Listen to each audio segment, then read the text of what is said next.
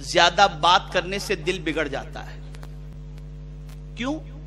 میں نے غور کیا کہ یہ زیادہ بات کرنے سے دل بگڑتا کیسے تو بات یہ سمجھ میں آئی کہ جو زیادہ بات کرتا ہے نا، اس کی زبان سے غیبت بھی ہوتی ہے چگلی بھی ہوتی ہے، جھوٹ بھی ہوتی، نکلتا ہے۔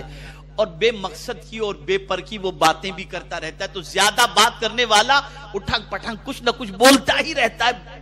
اس کی وجہ سے یہ ساری چیزوں کا اثر اس کے دل پر پڑتا ہے۔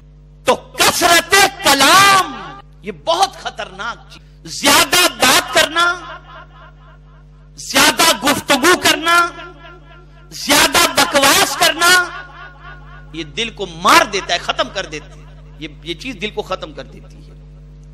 اسی لیے آپ دیکھیں آقائے کریم رعوف الرحیم علیہ تحیت و تسلیم اور صحابہ کرام علیہ الردوان سب کی زندگی کو اٹھا کر کے دیکھیں تو سب سے کم بات کرنے والے یہی شخصیات آپ کو نظر آئیں گی کہ کم بات کرتی تھی لیکن ایسا جملہ، ایک جملہ ان کی زبان سے نکلتا تھا اور انسان کی زندگی بدل جایا کرتی تھی۔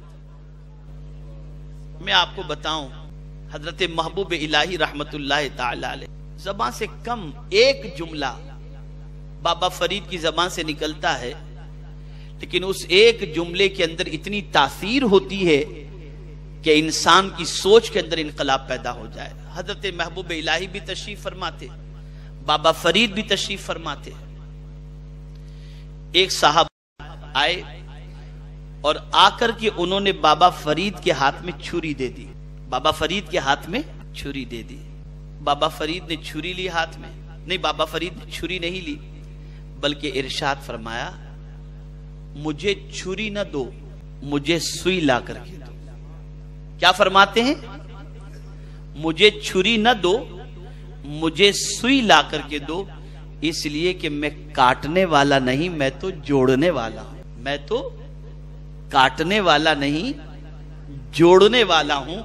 ایک جملہ انہوں نے کہا۔ لیکن اس ایک جملے کے اندر پوری تقریر موجود ہے اور انسانی زندگی میں انقلاب کا ایک عظیم پیغام موجود ہے۔ یہ حکمت کی بات زبان پر آتی کیسے تھی؟ اس لیے کہ دل زندہ تھا۔ ہماری باتوں کی تو کوئی اہمیت ہی نہیں رہے گی اس لیے کہ فرمایا گیا کہ جب کسی کا دل زندہ ہو تو اس کی زبان سے حکمت کی باتیں نکلا کرتی ہیں۔ حکمت کی باتیں۔ میرے پیارے آقا صلی اللہ تعالی علیہ وسلم کے پیارے دیوانوں، کثرت کلام یہ دل کو مردہ کر دیتا ہے۔ اسی لیے رسول اعظم صلی اللہ علیہ وسلم کا فرمان سنی، حضرت عائشہ صدیقہ رضی اللہ عنہ سے غالباً آقا کریم صلی اللہ علیہ وسلم نے فرمایا، اے عائشہ، دوزخ سے بچو۔ اگرچہ کھجور کا ایک ٹکڑا ہی دے کر دوزخ سے بچو، اگرچہ کھجور کا ایک ٹکڑا ہی دے کر، اور اگر یہ نہ ہو تو اچھی بات کہہ کر کے دوزخ سے بچو۔ یعنی اگر تمہارے پاس کھجور کا ٹکڑا دینے کے لیے نہیں ہے، تو کوئی بات نہیں۔ اگر وہ نہیں، تو ایک اچھی بات کہہ دو کہ یہ کہنا بھی دوزخ سے بچنے کے مترادف۔ اور یہاں ذرا مسلم محلے میں دیکھ لیجیے آپ۔ صبح اٹھ کے ماں بہن اور پتہ نہیں کیسی کیسی گالیاں۔ میں نے کل بھی کہا تھا اور آج بھی میں کہتا ہوں، تین جگہوں پہ مسلمانوں کو دیکھ لو۔ جہاں مسلمانوں کا جتھا ہو، مسلمانوں کی مارکیٹ ہو اور مسلمان ہی تاجر ہوں اور سیلس مین ہوں، ذرا وہاں جا کر مسلمانوں کی گفتگو کا انداز دیکھ لیجیے گا آپ۔ اور جہاں مسلمان کثرت سے رہتے ہوں ان محلوں کا جائزہ لے کر دیکھ لیجیے۔